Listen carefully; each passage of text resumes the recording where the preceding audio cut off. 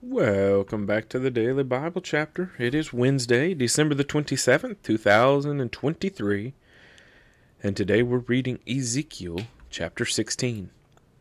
The heading for Ezekiel chapter 16 God's Love for Jerusalem. Again the word of the Lord came to me, saying, Son of man, cause Jerusalem to know her abominations, and say, Thus says the Lord God to Jerusalem your birth and your nativity are from the land of Canaan. Your father was an Amorite, and your mother a Hittite. As for your nativity, on the day you were born your navel cord was not cut, nor were you washed in water to cleanse you. You were not rubbed with salt, nor wrapped in swaddling cloths. No eye pitied you to do any of these things for you, to have compassion on you. But you were thrown out into the open field when you yourself were loathed on the day you were born. And when I passed by you and saw you struggling in your own blood, I said to you in your blood, Live. Yes, I said to you in your blood, Live. I made you thrive like a plant in the field, and you grew, matured, and became very beautiful. Your breasts were formed, your hair grew, but you were naked and bare when I passed by you again and looked upon you. Indeed, your time was the time of love. So I spread my wing over you and covered your nakedness. Yes, I swore an oath to you and entered into a covenant with you, and you became mine, says the Lord God. Then I washed you in water. Yes, I thoroughly washed off your blood, and I anointed you with oil. I clothed you in embroidered cloth and gave you sandals of badger skin. I clothed you with fine linen and covered you with silk. I adorned you with ornaments, put bracelets on your wrists and a chain on your neck, and I put a jewel in your nose, earrings in your ears, and a beautiful crown on your head. Thus you were adorned with gold and silver, and your clothing was of fine linen silk, and embroidered cloth. You ate pastry of fine flour, honey, and oil. You were exceedingly beautiful and succeeded to royalty. Your fame went out among the nations because of your beauty, for it was perfect through my splendor which I had bestowed on you, says the Lord God. But you trusted in your own beauty, played the harlot because of your fame, and poured out your harlotry on every one passing by who would have it. You took some of your garments and adorned multicolored, high places for yourself, and played the harlot on them. Such things should not happen nor be. You have also taken your beautiful jewelry from my gold and my silver, which I had given you, and made for yourself male images, and played the harlot with them.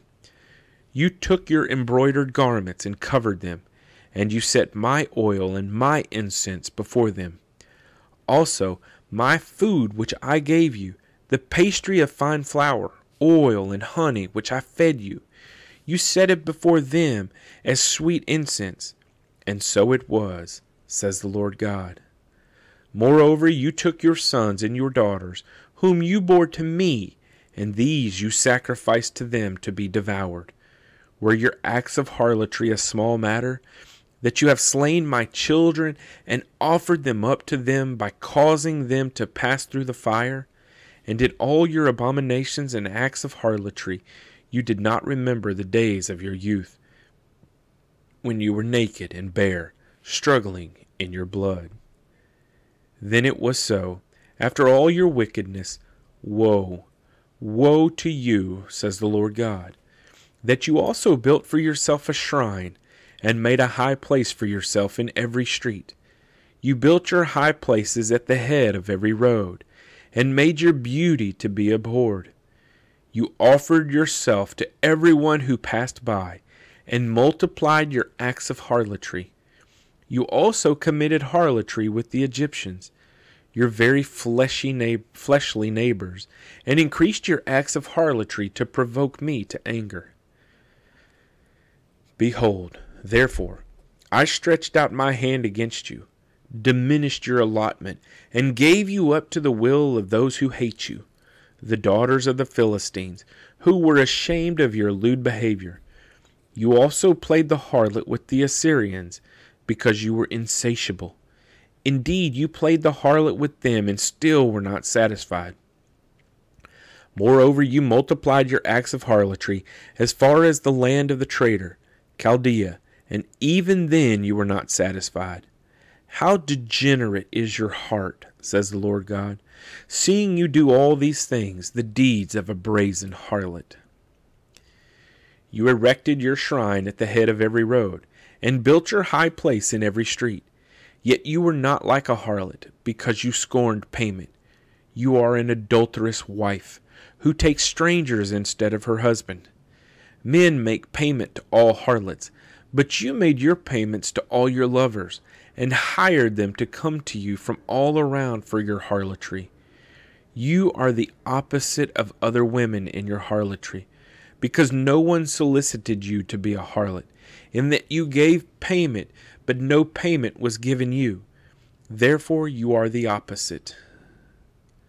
Now then, O harlot, hear the word of the Lord.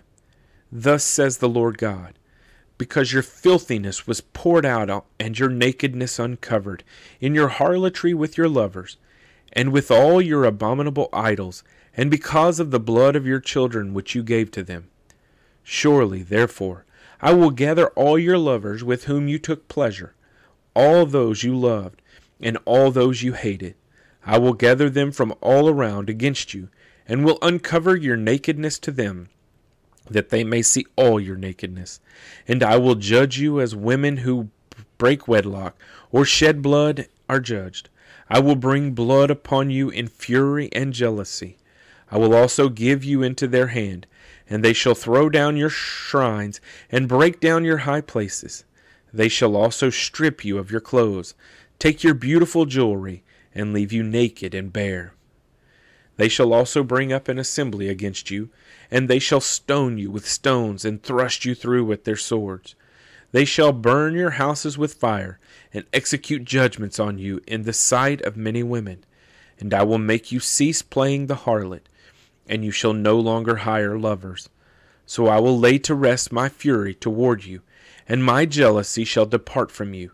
I will be quiet, and be angry no more because you did not remember the days of your youth, but agitated me with all these things. Surely I will also recompense your deeds on your own head, says the Lord God, and you shall not commit lewdness in addition to all your abominations.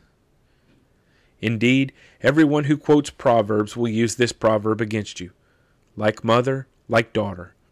You are your mother's daughter loathing husband and children, and you are the sister of your sisters, who loathed, loathed their husbands and children.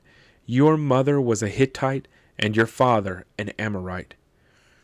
Your elder sister is Samaria, who dwells with her daughters to the north of you, and your younger sister, who dwells to the south of you, is Sodom and her daughters. You did not walk in their ways, nor act according to their abominations. But as if that were too little, you became more corrupt than they in all your ways. As I live, says the Lord God, neither your sister Sodom nor her daughters have done as you and your daughters have done. Look, this was the iniquity of your sister Sodom. She and her daughters had pride, fullness of food, and abundance of idleness. Neither did she strengthen the hand of the poor and needy, and they were haughty and committed abomination before me. Therefore I took them away as I saw fit. Samaria did not commit half your sins, but you have multiplied your abominations more than they, and have justified your sisters by all the abominations which you have done. You who judged your sisters bear your own shame also, because the sins which you committed were more abominable than theirs. They are more righteous than you. Yes, be disgraced also, and bear your own shame, because you justified your sisters. When I bring back their captives, the captives of Sodom and her daughters, and the captives of Samaria and her daughters, then I will also bring back the captives of your captivity among them, that you may bear your own shame and be disgraced by all that you did when you comforted them.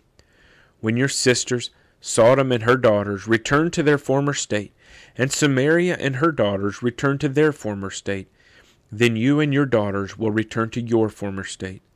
For your sister Sodom was not a byword in your mouth in the days of your pride. Before your wickedness was uncovered, it was like the time of the reproach of the daughters of Syria and all those around her, and of the daughters of the Philistines, who despise you everywhere. You have paid for your lewdness and your ab- abominations, says the Lord. For thus says the Lord God I will deal with you as you have done, who despise the oath by breaking the covenant. Nevertheless, I will remember my covenant with you in the days of your youth, and I will establish an everlasting covenant with you. Then you will remember your ways and be ashamed when you receive your older and your younger sisters, for I will give them to you for daughters, but not because of my covenant with you, and I will establish my covenant with you. Then you shall know that I am the Lord, that you may remember and be ashamed, and never open your mouth any more because of your shame, when I provide you an atonement for all you have done, says the Lord God. Ezekiel chapter 16.